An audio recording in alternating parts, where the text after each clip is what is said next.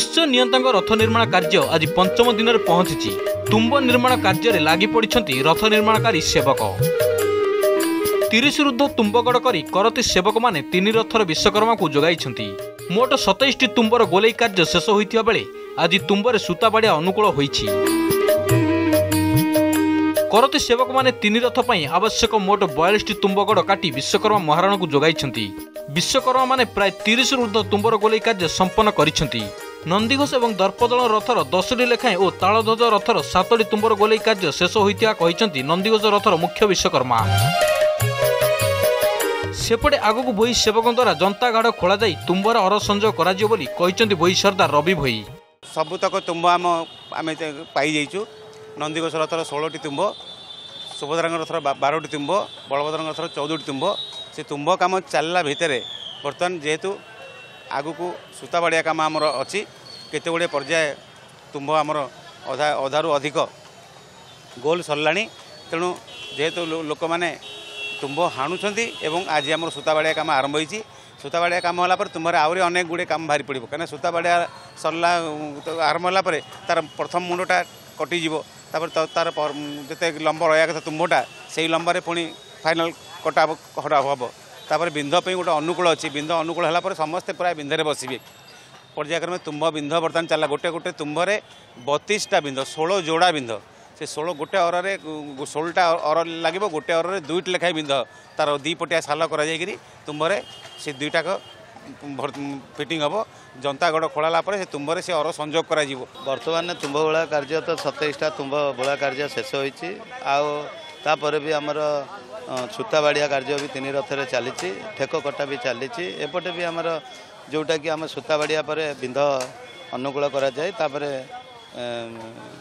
ତୁମ୍ବ ବିନ୍ଧ କାର୍ଯ୍ୟ କରାଯିବ ତାପରେ ବି ନୃସିଂହ ଚତୁର୍ଦ୍ଦଶୀରେ ମୁଖ୍ୟତଃ କାର୍ଯ୍ୟ ହେଉଛି ଜନ୍ତାଗଡ଼ା ଆମର ଖୋଳାଯିବ। ଜନ୍ତାଗଡ଼ା ଖୋଳା ସାରିବା ପରେ ଆମର ଯେଉଁଟାକି ଜନ୍ତାଗଡ଼ା ଆମେ ସେଟ୍ କରୁ ତାପରେ ବି ଆମର ମା ଚର୍ଚ୍ଚିକା ଠାକୁରାଣୀ ଅଛନ୍ତି ଆମେ ସେଠି ପୂଜାର୍ଚ୍ଚନା କରିସାରିବା ପରେ ଆମେ ମୁଁ ନିଜେ ଅନୁକୂଳ କରେ ଏବଂ ସେଇଦିନ ଠାରୁ ଆମେ ସିଙ୍ଗଡ଼ା ବାଡ଼ିଆ ପ୍ରକ୍ରିୟା ଆମେ ଆରମ୍ଭ କରୁ ଯେଉଁଟାକି ଆମେ ବୟାଳିଶ ଆଖି ତୁମ୍ଭରେ ଆମର ଛଅଶହ ବାସ୍ତରୀ ଖଣ୍ଡ ଅର ସଂଯୋଗ କରିବାର ବିଧିବିଧାନ ଥାଏ ସେ ସେ କାର୍ଯ୍ୟ ବି ଆମେ ଭୋଇ ସେବକମାନେ ଆମେ ସବୁ ସମ୍ପାଦନ କରିବୁ।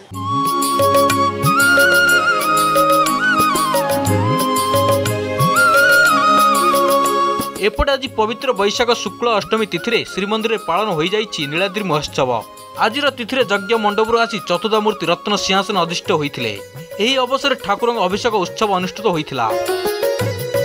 ଆଠ କୁମ୍ଭ ସୁବାସିତ ଜଳରେ ଚତୁର୍ଦ୍ଧା ବିଗ୍ରହଙ୍କୁ ଜଳାଭିଷେକ ନୀତି ଅନୁଷ୍ଠିତ ହୋଇଥିଲା।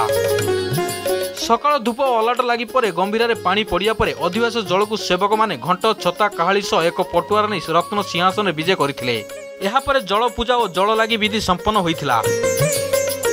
ତେବେ ଆଜିର ଏହି ତିଥିକୁ ଶ୍ରୀମନ୍ଦିର ପ୍ରତିଷ୍ଠା ଦିବସ ଭାବେ ମଧ୍ୟ ପାଳନ କରାଯାଏ ବୋଲି କହିଛନ୍ତି ବରିଷ୍ଠ ଚୁନାରା ସେବାୟତ। ମହାପ୍ରଭୁଙ୍କର ପୂଜାଭିଷେକ ଯେମିତି ଯାତ୍ରା ଜଳ ବିଜେ ହେଇଥିଲା ଜଳ ନୀତି ହେଇଥିଲା ସ୍ନାନ ଯାତ୍ରା ଯେମିତି ଯାତ୍ରା ସେଥିରେ ମଧ୍ୟ ଜଳ ଛେକ ବୁହା ହୁଏ। ତେଣୁ ଆଜି ମଧ୍ୟ ପୂର୍ବରାତ୍ରିରୁ ଅଧିବାସିତ ହୋଇଥିବା ଜଳ କୁମ୍ଭମାନ ଶହେ ଆଠ ଗରା ଜଳ ମହାପ୍ରଭୁଙ୍କ ବାଡ଼ରେ ପଇଁତିରିଶ ଗରା ବଡ଼ ଠାକୁରଙ୍କର ତେତିଶ ଗରା ଏବଂ ସୁଭଦ୍ରାଙ୍କର ବାଇଶ ଗରା ଏବଂ ସୁଦର୍ଶନ ମହାପ୍ରଭୁଙ୍କର ଅଠରଟି ଗରା ଏଇଭଳି ଭାବରେ ଶହେ ଆଠ ଗରା ଜଳକୁ ପର୍ଯ୍ୟାୟକ୍ରମେ ଗର୍ଗବଟୁ ସେବକମାନଙ୍କ ଦ୍ୱାରା ପେଁକାଳି ଘଣ୍ଟ ଘଣ୍ଟା ନିନାଦିତ ଭାବରେ ରତ୍ନ ସିଂହାସନକୁ ବିଜେ କରାଯିବେ ଯାହାକୁ କି ଦର୍ଶନ ମାତ୍ରକେ ସାଜୁଜ୍ୟ ମୁକ୍ତି ମିଳିଥାଏ ବୋଲି ଏ ବିଶ୍ୱାସ ସ୍କନ୍ଦ ପୁରାଣ ଉତ୍କଳ ଖଣ୍ଡ ବାମଦେବ ସଂହିତା ନୀଳାଦ୍ରି ମହୋଦୟରେ ବିଶଦ ଭାବରେ ବର୍ଣ୍ଣନା କରାଯାଇଛି।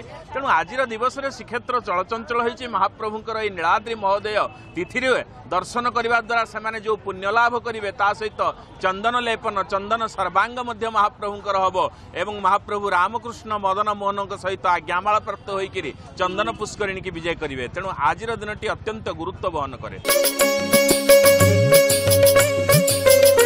তবে আজ রথ নির্মাণ কার্য সময় কালবৈশাখী বর্ষা সাঙ্গক ঘড়ঘড়ি মারি কিছু সময় রথ নির্মাণ কার্য বাধা সৃষ্টি হয়েছিল বর্ষা ছাড়া পরে পুনর্বার রথখলা চলচঞ্চল হয়েছিল